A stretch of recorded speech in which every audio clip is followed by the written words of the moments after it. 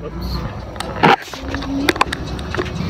If you have not tried Starbucks Clover machine, you've got to try it. So, I just get the regular iced coffee with made with Pike, but I get it made on the Clover machine, and it is so smooth. And so every Tuesday, I go to a coffee shop to work. I'm never going to be successful at vlogging if I can't get past that there's other people around me. I wonder what other vloggers do. Do they just ignore them? Do they stop the camera and start over? I'm not sure. Oh, you gotta see this. Look at this bomber. Yes. I heard about it on the radio. They have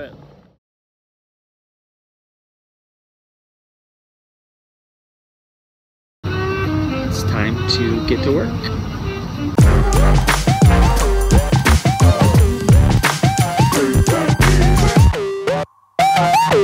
So I eat a lot of hard-boiled eggs, and one of the problems is my wife puts them back in the container, but we don't mark them. Sometimes I do. Just don't have time for that. So when you pull out the hard-boiled eggs, there's also a container of not hard-boiled eggs, raw eggs. And so the question is, how do you know which one is which? I always wondered why on Jimmy Fallon when they play the egg egg roulette why no one has ever done this. Can't I can't really tell which one's which just by holding them. But there is a trick, and there is a way to find out. All I have to do is spin them. So notice how this one spins. Watch how this one spins. See how long it took to even get up to about half the speed?